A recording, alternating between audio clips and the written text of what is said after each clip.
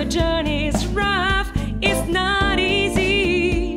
When you're in love, don't be ashamed. When the going gets tough, it's not easy. Don't give up if you wanted to get strong.